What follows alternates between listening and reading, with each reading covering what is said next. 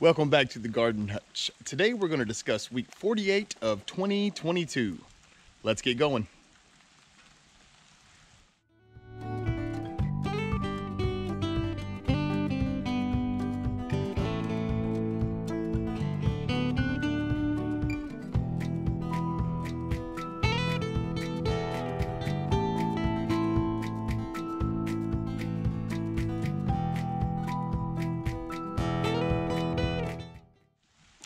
Well, week 48 started off rainy. It was all right in the middle of the week, a little chilly, and then it ended with some rain. In fact, as we're doing this video, we're getting just a bit of a rain now. So um, after the summer we had, I don't want to sound like I'm complaining because I am definitely not. Um, heading into week 49 though, I just wanted to point this out. Here in the Southeast, we're going to get a lot of rain. So it's a good idea if you can to try to utilize that if you use rain buckets or any of that kind of stuff.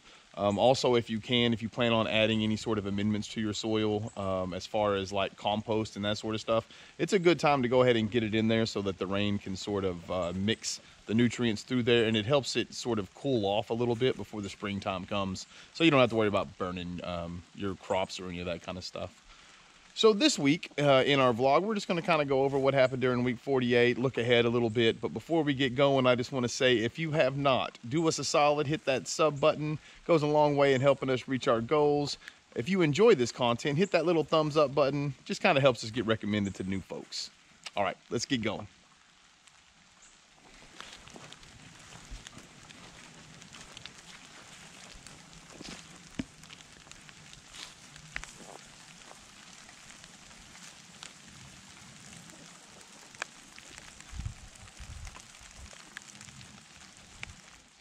Well, December's a bit of a slow month in the garden. Uh, even here in Zone 7B, you know, it's you kind of have this winter uh, solstice that's coming through. So right now the days are getting shorter and shorter and shorter and then the end of the month they start getting a little bit longer but it's not really a great time to start growing anything um, you know the last couple months would have been a good time to get things in the ground right now is sort of a time for resting um, it's a really good time to let your gardens just sort of rest not bother them a whole lot you know let the microbes and stuff get caught up uh, and get ready for what's fixing to come you know um, so usually we do a December in your garden video. I'm just gonna kind of tie it in here to the first week of December.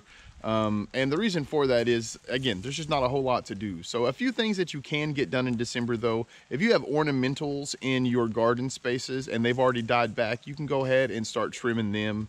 Um, here on the homestead, we love our chickens. We get eggs, we eat them every day.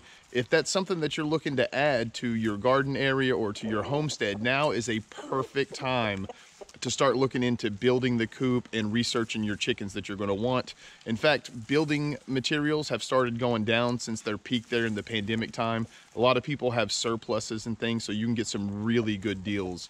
So anyway, I just want, kind of wanted to throw that out there. Um, another thing that we like to do here um, at the homestead in December is put on the last layer of mulch that we're going to do for the year. Again, as I mentioned earlier, it just allows it to sort of cool off and blend well with the existing soil, add microbes to what came before it and that sort of thing. All right, so with all of that out of the way, the other thing I wanted to talk about is we do have a few things actually growing here in December um, after I went on the whole tirade and stuff of, uh, you know, things not growing. So let's go take a look at what we're actually eating out of our gardens. We added a bit of compost to our strawberries and these guys are looking pretty good. Next year I'll have to thin this out. I didn't realize they were going to take off so good. Um, another thing that we'll do here mid-December, um, and it's really good for folks in our area if you haven't yet, is we'll go through areas like this um, after we add whatever compost we need to to finish the year off, and we'll cover this in straw. That way in the spring, um, as the strawberries grow, they'll come right up through that kind of stuff. So um, actually, you can kind of see we added that um, potting soil that we got on sale in here just to add a little bit of filler uh, and it had covered all the strawberries off. And even with the cold weather you can see that um, the strawberries have sort of worked their way through the soil. But let's look at what we're actually able to eat right now. These uh, we planted a bunch of sweet onions in here. We planted them last year in the spring and they simply didn't get the size that we wanted. So we're going to try them in the fall but these started coming up about a week and a half ago uh, maybe two weeks now but we went through and I made a salad the other day and I just pulled one because we overplanted as we tend to do.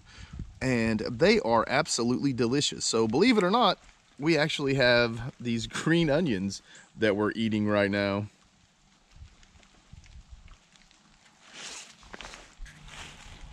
All right, so as we're looking in here, it just uh, made me think, another thing that's good to do here in the month of December, if you've planned on it already, it's a great time to go ahead and pre-order your seeds.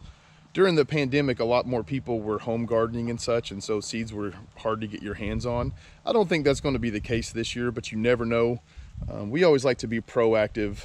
We have our gardens pretty much planned right now, and actually that's something we'll go over in our first videos of January. Um, I'm already starting to get that garden itch. I feel like I haven't been able to do much out here lately. So you can see how well these carrots are coming along.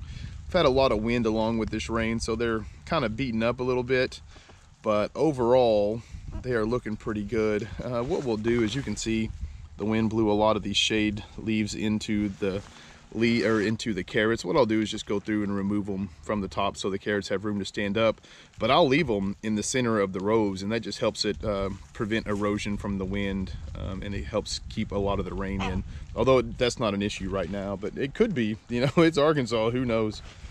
Um, and right now we showed this before but our turnips got bit pretty good uh, by that three or four days that we had that were in the low 20s uh, but they're starting to bounce back a little bit. We're actually having quite a few turnips in our beds and we're to let those get to just about baseball size or so um, and then we'll pull those out and eat them. I can't wait. We, we, Leslie and I both really, really love turnips.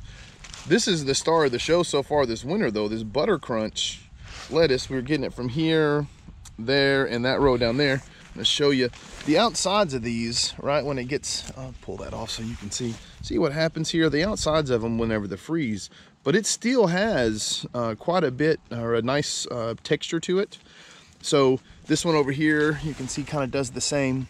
So what I do is, you know, once a week or so, I'll come out and I'll pull the stuff that's gotten a little waterlogged, frozen on the ends of it, so it doesn't rot the rest of the plant but we're eating we're still eating salad. So i guess if you subtract that one three week period there right at the end of the summer heading into the fall. We have been able to eat lettuce from our garden every day uh, since last april. So that's a pretty good thing. So that's one of the things we're trying to uh, push on our channel is we're learning how to do this ourselves to make sure we don't have gaps. And as we're doing that hopefully we're teaching other folks how to do the same thing um, you know, a lot of the first years will be what not to do, but as we go along, it'll be a lot more of the what uh, that you can do. I did want to show these as well.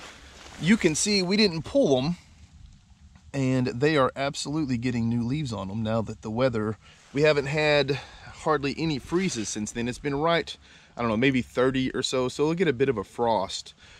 But just as we anticipated, um, instead of pulling them, you can see they're getting new leaves on them. So what I'm gonna try to do is see if that will actually swell the beets and make them a little bigger. And if so, this is just something that we'll continue to do. Um, this week there's a day, I can't remember what day it is, but the upcoming week there's a day where we're not supposed to have any sort of weather. So what I'm gonna do at that point is I'm just gonna come out and take off all of the leaves that are no longer beneficial to them. Only on the ones that have new leaves coming up though and I'll just take those and I'll just chunk them right in the bed and let them rot there. Then um, once these are done with the fall garden and winter garden, I'll just turn them all into the bed and that'll just add nutrients to it as we go along. But I anticipate being able to eat beet greens again relatively soon, so that's exciting.